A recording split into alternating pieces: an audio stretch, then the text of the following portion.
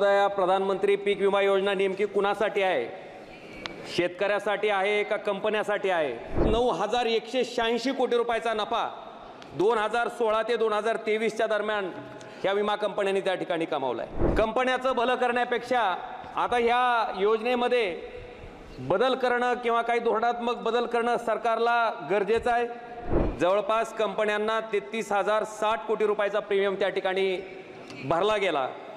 आणि कंपन्यांनी जो क्लेम त्या ठिकाणी शेतकऱ्यांनी दिला तो आहे फक्त तेवीस हजार आठशे चौऱ्याहत्तर कोटी रुपयाचा.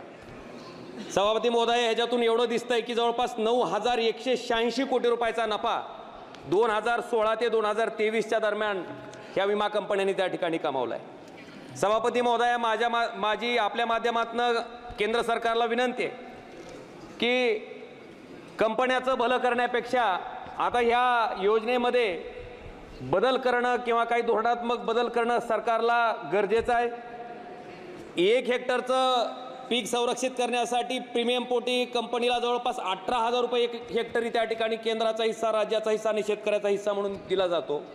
आणि मदत मिळताना मात्र कंपनी त्या ठिकाणी शेतकऱ्याच्या तोंडाला पानं पुसायचं काम करते. सभापती महोदय मला अजून एका गोष्टीकडं ह्याच विम्याच्या संदर्भात आप केंद्र सरकारचं लक्ष वेधायचं आहे ऐन निवडणुकीच्या कालावधीमध्ये खरीप दोन हजार तेवीसच्या पीक विम्याच्या बाबतीत केंद्र सरकारनं तीस एप्रिल दोन हजार चोवीसला एक परिपत्रक काढलं. ज्या परिपत्रकामुळं परत केंद्र सरकारचं धोरण कंपनीला धार्जिन आहे असं त्या ठिकाणी दिसतंय. सभापती महोदय मला आपल्याला सांगायचं आपल्या माध्यमातून सरकारला सांगायचं की दोन हजार तेवीसला खरीप पीक विम्यासाठी धाराशिव जिल्ह्यातील सात लाख त्रेपन्न हजार तीनशे ब्याऐंशी शेतकऱ्यांनी त्या ठिकाणी विमा उतरवला. पैकी पाच लाख एकोणीस हजार दोनशे त्र्याहत्तर शेतकरी त्या ठिकाणी या विम्यापासून वंचित आहेत. सभापती महोदय त्याचबरोबर बार्शी तालुक्यातील अठ्ठ्याऐंशी हजार पाचशे साठ शेतकऱ्यांनी त्या ठिकाणी पीक विमा उतरवला.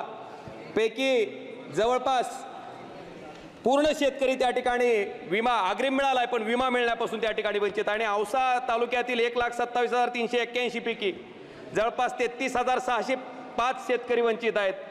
त्याचबरोबर निलंगा तालुक्यामधले एक लाख शेहेचाळीस हजार सातशे सोळापैकी एकोणपन्नास एकशे पंच्याऐंशी शेतकरी एकोणपन्नास हजार एकशे पंच्याऐंशी शेतकरी त्या ठिकाणी वंचित आहे सभापती महोदय आपल्या माध्यमातून मला सांगायचं आहे की हे परिपत्रक ऐन निवडणुकीच्या काळात आचारसंहिता असताना सरकारनं त्या ठिकाणी काढलंय. हे परिपत्रक जाचक आहे ज्याच्यामुळं पीक विमा त्या ठिकाणी शेतकऱ्याला मिळण्यापासून अडचण येते आणि हे परिपत्रक रद्द करावं असं मी माननीय भारत सरकारच्या कृषी मंत्री महोदयांना एक जुलै दोन हजार सात रोजी वैयक्तिक पत्राद्वारे मी त्या ठिकाणी मागणी केली आहे. माझी आपल्या माध्यमातून केंद्र सरकारला विनंती आहे की ह्या पीक विमा क योजनेच्या बाबतीत केंद्र सरकारनं फेरविचार करावा. अठरा हजार रुपये प्रीमियम कंपन्यांना देण्याच्या ऐवजी डायरेक्ट शेतकऱ्यांना त्या ठिकाणी जर हे देता आलं तर मला वाटतं की शेतकऱ्याला डायरेक्ट पैसा मिळेल. आणि हे तीस एप्रिल रोजी काढलेलं जे परिपत्रक आहे ते परिपत्रक मात्र तातडीनं त्या ठिकाणी रद्द करावं. आणि पीक विमा मिळण्याच्या बाबतीत शेतकऱ्यांचा मार्ग त्या ठिकाणी केंद्र सरकारनं सुसह्य करावा अशी मी कळकळीची विनंती आपल्या माध्यमातून केंद्र सरकारकडे करतोय. धन्यवाद सभापती महोदय.